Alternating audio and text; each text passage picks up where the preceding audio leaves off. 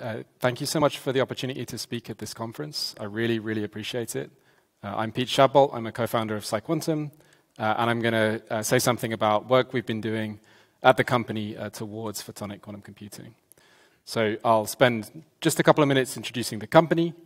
I'll give my perspective on the kind of state of play of quantum computing.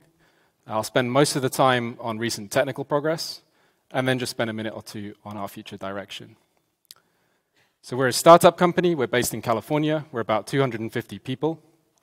Almost all of those people are technical, and they're all working together really just to do one thing, which is to deliver a universal fault-tolerant optical quantum computer. The founding thesis of the company from about 2015 uh, is firstly that error correction is going to be required to do anything commercially valuable with a quantum computer. Secondly, that error corrected systems are going to be very big you're going to need on the order of a million qubits uh, uh, for useful systems. And once you accept that premise, we've always been of the belief that photonics becomes a very attractive platform to, with which to build one of these large, extensive systems. Um, I also hope that a theme at PsiQuantum has been technical maturity.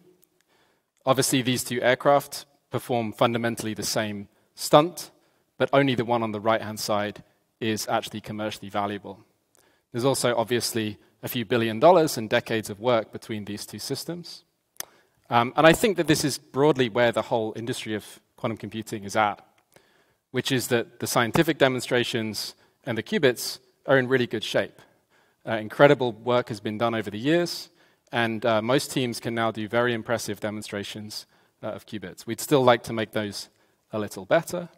Um, but I think it's also fair to say that the real challenges that are preventing us from delivering on the promise of quantum computing as an industry, I would say are more like scaling challenges.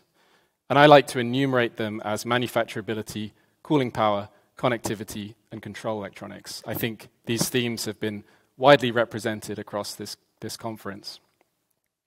We don't like photons because they necessarily make a better qubit. Rather, we like them because they seem to have orders of magnitude type of advantages in overcoming these scaling challenges. So we can build photonic qubits in a regular semiconductor chip foundry. Uh, the photons themselves don't feel heat. Uh, we do need cryogenic cooling uh, for single photon detection. All photonic quantum computers require cryogenic cooling, uh, as far as we understand today. Uh, but they can operate at much higher temperature, so in the ballpark of 4 Kelvin rather than the 10 millikelvin that's required uh, by some other systems. This can be very advantageous. Uh, we have big advantages in networking in that we can send qubits from one fridge to the next fridge using conventional optical fiber and without transduction. And we've already demonstrated teleportation and entanglement between chips using off the shelf, uh, using conventional optical fiber. Uh, and then finally, uh, as we build more complex systems, it becomes very desirable to put complex control electronics close to the qubits. That's much easier if your qubits are not sensitive to heat or electromagnetic interference. Um, and so, you know, myself and my co-founders had been working for a combined 15 years, uh, combined 60 years in academia by the time we started the company. In that context, we demonstrated lots of small systems of entangled photonic qubits, state tomographies, Bell, to, uh, Bell tests, process tomographies. Uh, we had, uh, as far as I know, the first quantum processor on the internet about a decade ago. That's that system in the top right-hand corner. We did the first demonstration of the variational quantum eigensolver with our colleagues at Harvard around 2013. And you know, had a wonderful time in academia making these small-scale demonstrations, publishing lots of papers and so on. All the time that we were doing that, we knew in our minds that there were much bigger, much more expensive, hard engineering problems that really needed to be solved to deliver on the promise of photonic quantum computing. I've enumerated them here. So we knew that we would need high volume semiconductor manufacturing to build very large numbers of very good chips. Uh, we need single photon sources and single photon detectors with very high performance, extremely good waveguides, extremely good coupling from the waveguide into optical fiber. One of the biggest pieces is that we need a very, very good optical switch to overcome the intrinsic non-determinism uh, of single photon uh, quantum computing. Uh, we need very low latency control electronics, most likely inside the cryostat, um, uh, connected to that photonics. And we need to massively increase the amount of cryogenic cooling power that we're deploying. Finally, we need very good um, architectures, uh, better than the previous state of the art. Uh, I'm not going to talk about this final point. Naomi Nickerson, our VP of Quantum Architecture, is also speaking at this conference. She will talk about architecture. I recommend that you go and see her talk. I'm going to talk about hardware. This is a map of the hardware uh, in a photonic quantum computer. Basically, there are a handful of photonic components. Most of those are actually classical components, like waveguides and splitters and so on. Uh, there are a few quantum components, like single photon detectors. Those get lithographically fabricated onto a silicon chip using a stack of materials that you can see here. Those photonic chips then get packaged optically and electrically into what you can think of as a motherboard. Some of those motherboards run at room temperature, some of them run at cryogenic temperature, but we're going to need to then package a whole bunch of those boards into what you can see uh, towards the right hand side here, which is a cryogenic cabinet containing a whole bunch of boards. And then we're going to need many of those racks or cabinets networked together with conventional optical fiber in a large facility to deliver on useful applications. PsiQuantum, as an organization, has made thousands of wafers of silicon, millions and millions of components. So we've got the left-hand side of this chart uh, pretty well covered. We've built a pretty large number of these board-level assemblies, and we have not yet demonstrated one of these cryogenic cabinets. We're building these now, we're machining them, so they're being actively constructed, uh, but they're not done yet. I want to look at just one of these components to illustrate how things get interesting when you take scale seriously. So this is a single photon detector. This is how we read out the state uh, of our photonic qubits. And in principle, it's a beautiful, simple device. The photon is flying uh, in the waveguide. It gets absorbed into a superconducting nanowire. The nanowire goes normal, it becomes resistive. And then from that uh, resistance, we can uh, detect the presence of the single photon. Uh, in principle, this can be a 100% efficient detector. It's a beautiful dream uh, device, but we're going to need millions of them.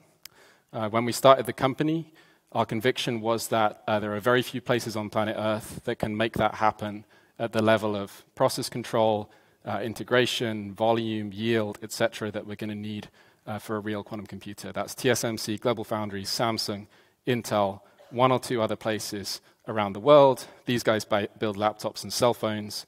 Basically, nobody else does.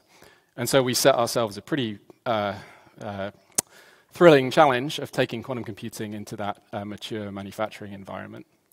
Um, we're obviously a startup company. We're trying to go really, really fast. Um, and I think it's worth remembering that in the semiconductor industry, it's pretty normal actually to build a prototype of something one year the following year to then go to the foundries, the fabs, the contract manufacturers, the packaging houses, order a thousand units, and expect those units to show up on your doorstep and actually work properly. Of course, we're doing something that's more exotic. We make things really difficult, uh, but it's exactly that type of leverage that we want to deploy to get to large systems quickly. So we're very fortunate that we've been working with Global Foundries for more than three years now. We've put six tools into the production line uh, in Fishkill. We've done seven tape outs. We've made, made thousands of wafers of silicon. Uh, Fishkill is the former IBM fab. It's the oldest Global Foundries facility. It's more R&D oriented, and so it gives me great pleasure to report that we've actually moved from the small house into the big house. Uh, so we've moved into Malta, which is the premier uh, production-oriented uh, foundry uh, for, for GF. Um, we've put, uh, we're putting twice as many tools into Malta as we did into Fishkill. Uh, we've already taped out there. We've got a team in the clean room. And to have pulled that off during a global semiconductor supply chain crisis, especially given the exotic nature of what we do, single photon detectors and so on, uh, is a huge testament to the, the team at PsiQuantum. I'm very happy that that's happened. As we start to make more and more silicon, of course, we've created testing problem for ourselves. And in general, quantum computing has a big testing problem, which is that if you need a million qubits, you're going to have to test billions of devices. If it takes you one hour to test a device, then you never get a quantum computer. So we're very lucky that many of the things that go wrong in a photonic quantum computer are actually classical and be, can be characterized at room temperature using robots like this one, which we buy off of the shelf from the semiconductor industry. So this has allowed us to test millions of devices in a completely automated fashion. There is still a whole bunch of cryogenic tests that we have to do, um, but this really takes the edge off of it. Um, and we have now two of these systems running pretty much 24-7. We have four more on order, and we have a pretty big fleet of uh, automated cryogenic tests. I want to look at what's inside one of these chips. These are pretty complex. This is a 25-layer, 500-step manufacturing process on a 300-millimeter wafer. We stood that up pretty much from scratch. Um, and here, what you're looking at is a cross-section of one of these chips as fabricated at Global Foundries. So what you can see is the silicon waveguide, where the uh, photons live. That's a few hundred nanometers wide. And then on top of that, you see uh, niobium nitride superconducting nanowires that we put uh, into that manufacturing process. If we zoom out a little on this device, you can see uh, the single photon detector on top of the waveguide. You can also see a whole bunch of metal. That metal is there because the laser light that we shine into the chip is about one trillion times more intense than the single photons that we detect on the chip. So there's an optical dynamic range of about 120 dB. Um, you're also seeing cross sections here uh, from these chips. And this is what you're really paying for at somewhere like Global Foundries to achieve uh, this level of control over the critical dimensions, the integration, the line edge roughness, the process control with something this novel and complex. There are very few places that can actually do that. Here you see the full chip. It's 25 millimeters on a side. Uh, we actually, in some of these old systems, we mount that up uh, by atomically bonding it onto a one inch thick chunk of crystalline silicon that we use as a heat sink. We don't do that anymore, but that's an interesting thing to do. Uh, and then to prototype these systems today, uh, we're able to use just off the shelf cryostats. This is a regular off the shelf cryostat operating in the regime of 4 Kelvin or so. Uh, that's good enough for us to uh, prototype uh, the packaging and device performance and so on. Um, but as you heard, we're moving to much more advanced cryostats. I'll talk about that in a second. And for context, this gives us about a watt of heat dissipation, which is about a thousand times more heat dissipation than you typically get from a dilution refrigerator. Um, again, what we're really paying for here is very good process control. Uh, you can see that represented in these wafer maps in the top left. Uh, so if you were to measure the width of the nanowire between two separate wafers, it would be the same to within two nanometers. And if you were to measure the film thickness, it would be consistent to within better than an angstrom. Um, that's what we're really paying for. That's the kind of process control that you need to build large-scale quantum computers, uh, in our opinion. That translates to device performance. So the intrinsic efficiency of these detectors is so close to 100% that it's very, very difficult to measure. Uh, what's more interesting is the system efficiency, where we take into account the waveguide loss, the coupling efficiency, and so on. 88% of our detectors have a system efficiency better than 88%, and the best detectors have an efficiency uh, around about 95%. We need to be closer to 99%. I'll talk about how we're going to get there. Uh, you also see on this slide preliminary data from number resolving single photon detectors. So we need to be able to count up to about three photons in the mode uh, for the architecture for optical quantum computing. We've built devices that can do that. You can see here preliminary data. We're achieving about 95% separation uh, between these photon number buckets. How are we going to get to from 95 to 99%? One of the big things that we're going to do is to switch from a silicon waveguide, which is nice to work with but pretty lossy, uh, to a silicon nitride uh, waveguide, uh, which can be much, much lower loss. Silicon nitride is hard to work with. You can see uh, some of the things that people don't normally show you in the middle here. There's a lot of grind, expensive, hard work. We've been through hundreds of wafers and a lot of pain and suffering uh, to get this going, but we now have silicon nitride under very good control. Uh, at the top of this graph here, you see the best waveguide loss that we've seen from silicon waveguides. At the bottom of the chart, you see the target uh, for useful quantum computing, and then you can see two years of hard work to bring down the losses in silicon nitride waveguides.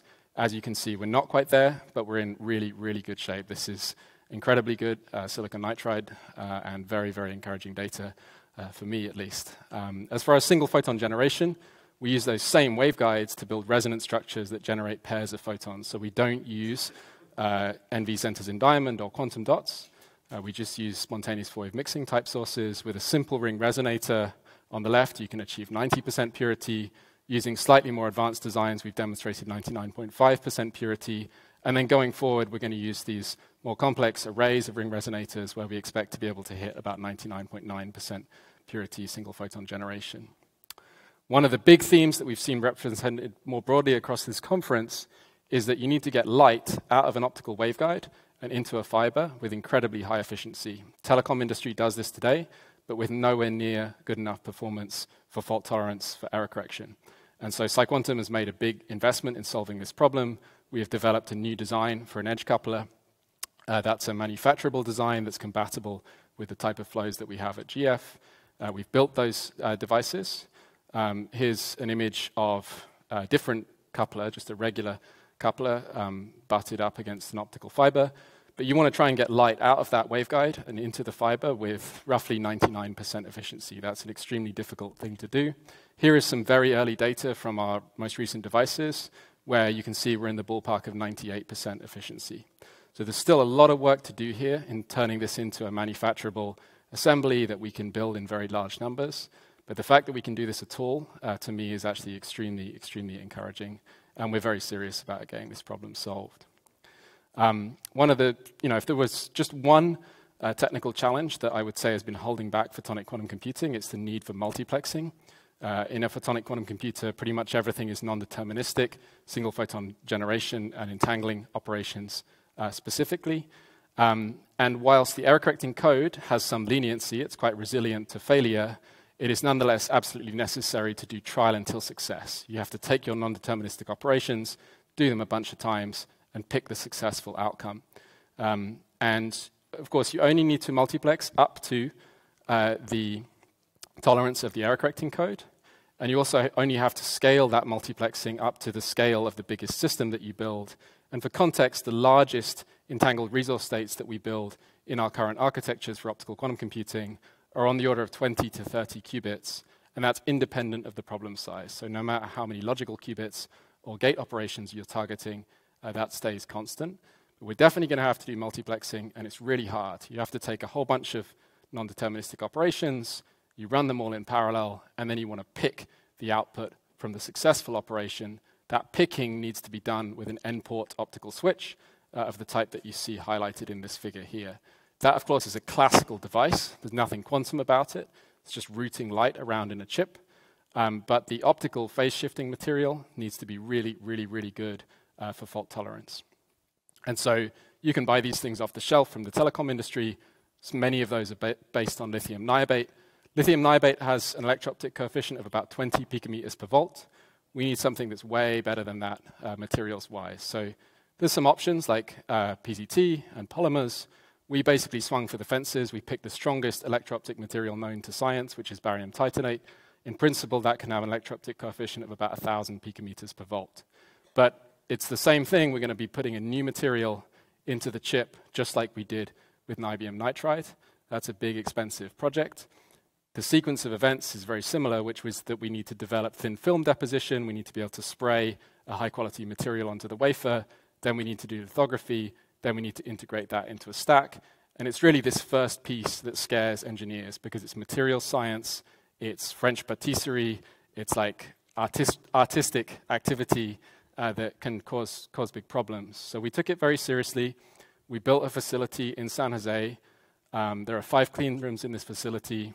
Inside one of those clean rooms is the biggest molecular beam epitaxy tool uh, that uh, we think has ever been built. So it's a 300 millimeter MBE tool for barium titanate.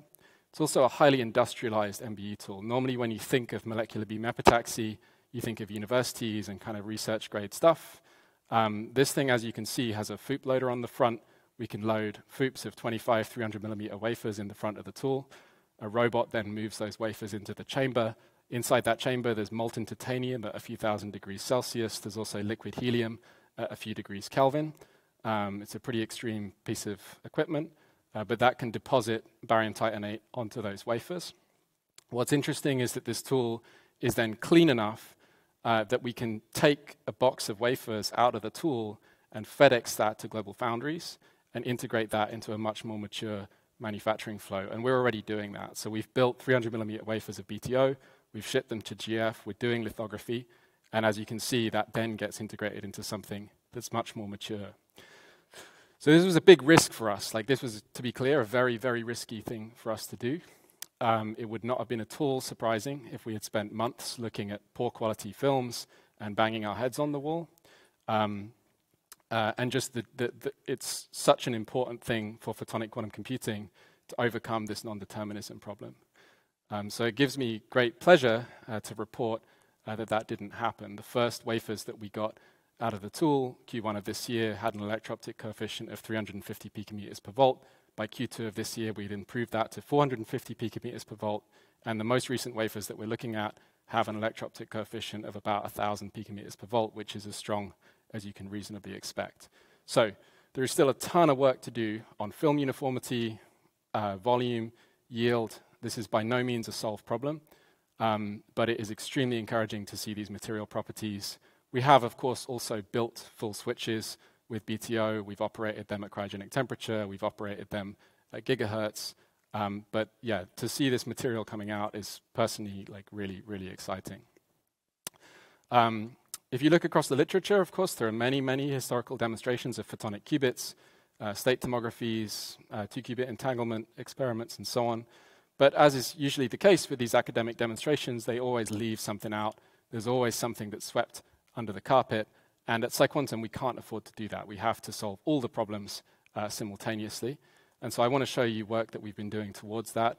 Uh, these are single qubit tomography experiments and two photon interference experiments where we're bringing much more of the unpleasantness that is required onto the chip. So specifically, these are fully integrated single photon sources, superconducting nanowire single photon detectors. The filtering is done on the chip, which again is 120 dB, factor of a trillion or so uh, filtering. Um, and also thermal heaters on this chip. So we actually have thermal heaters which we use for phase shifters, uh, that, are, that when we operate them are close to room temperature. Uh, we dissipate about half a watt of heat through these phase shifters, despite the fact that the photonic chip is at cryogenic temperature. Um, so ultimately, those phase shifters will be removed and will be replaced with barium titanate, but that's a pretty good stand-in actually for a gigahertz switch that also will dissipate heat. So very extreme optical dynamic range, very extreme thermal dynamic range, lots of packaging. This is obviously a 25 layer chip. When you introduce all of this additional complexity, you might reasonably expect that the numbers get worse, and it's very nice to report uh, that that didn't happen. So this is single qubit uh, tomography uh, data from those systems where we're seeing 99.96% single qubit state preparation fidelity, 99.99% single qubit gate fidelity if you just abstract out the gate itself. This shouldn't be terribly surprising, um, but it's really, really an accomplishment of the team to manage uh, this level of complexity. Similar for two photon uh, experiments, we're seeing 99% uh, two photon interference uh, visibility from these same systems, again with on chip filtering, on chip detectors, on chip sources, etc., uh, etc. Those systems have hundreds of wires. The systems that we're building now have thousands of wires. As we scale up, we increasingly want to bring CMOS into the cryostat. We've made a big investment in that. Uh, this is a cryo-CMOS ASIC that we developed and built. It's based on a 22 nanometer CMOS process, the same transistors that you find in your Bluetooth devices. There are three quarters of a billion transistors on this control chip. It has hundreds of detector readout circuits, hundreds of phase shifter drivers. Here you can see it packaged up with a photonic chip with superconducting detectors and single photon sources built at Global Foundries. You take that whole assembly, you put it in the cryostat at liquid helium temperature, and you cross your fingers and hope, and it, did, it does actually work, which is extremely encouraging. So it's doing everything it was supposed to do. Um, currently, this is missing very fast electronics. Uh, that's coming in the next generation, so we're putting 32 gigabit SerDes and half a gigabyte of SRAM into the next thing. These are really quite capable uh, control chips running at cryogenic temperature. And again, we can only really afford to do that because our photons can operate uh, in that kind of 4 Kelvin regime. Um, as you can see, we're getting ready to build bigger and bigger assemblies like this. That's going to place more demands on our cryogenic cooling. We'll move away from these off-shelf, off-the-shelf systems. We're now building this cube that you see in the middle. That should give us about 10 watts of cryogenic cooling power. And as you heard, we're already building uh, these uh, cabinets, which should go well beyond that. So we're increasing the amount of available cryogenic cooling power by about a factor of 5 to 10 every year for the next few years. Um, and in that context, uh, well, I should comment on this. I appreciate I'm over time. Um, this is very much in the spirit of things that we have seen before at PsiQuantum, where like when the engineers come to me and say, we're going to put heaters in the cryostat, or we're going to build superconducting detectors in a laptop factory, or we're going to do 300 millimeter MBE, I'm often inclined to say, really? Like, that sounds crazy. Is that actually a good idea? Uh, this is the same category, which is like building a sliding drawer in a cryogenic uh, cabinet sounds wild to me, um, but every time I've bet against those guys, I've been wrong, and they've actually made it happen. So I look forward uh, to seeing this system up and running. Um, the only thing that needs to be cold in our system is the niobium nitride detectors.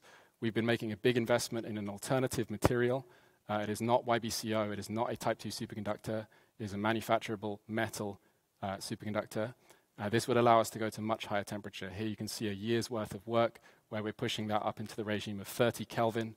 This would be hugely impactful uh, for larger systems. To put these numbers in context, this is the Stanford Linear Accelerator. It is walking distance from my house. This does about 10 kilowatts of cryogenic cooling power at 10 Kelvin. This is built by our Chief Product Officer, Nicholas Calez, who was previously uh, Chief Engineer there. Um, and then, yeah, that kind of brings us to, to the end here. So we spent 15 years uh, in the university doing basic science, proving that we could entangle photonic qubits on a chip. The company has, for the last few years, been in a regime where semiconductor process enablement has been the long pole in the tent, the slowest piece of our development. I think we're in incredible shape there. The end is very much in sight uh, in terms of getting all these materials into the chip. And we're heading into a regime where infrastructure, concrete, and steel are really the overarching uh, challenges. I think it's very, very exciting uh, to be in that regime. Just finally, I want to plug a recent result that we put on the arXiv. Um, this is a completely at the other end of the spectrum to what I've been talking about. We have a 25-person team that works on fault tolerance, uh, uh, architecture, etc. And they recently had a result which reduces the runtime for fault-tolerant algorithms by about 50x.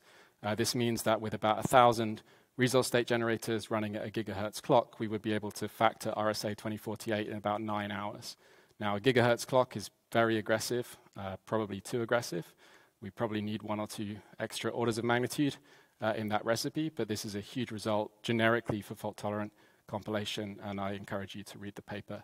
So apologies uh, to go over time. I should say I feel so grateful to speak at this conference and to get to work on this technology. Uh, thank you so much for your attention.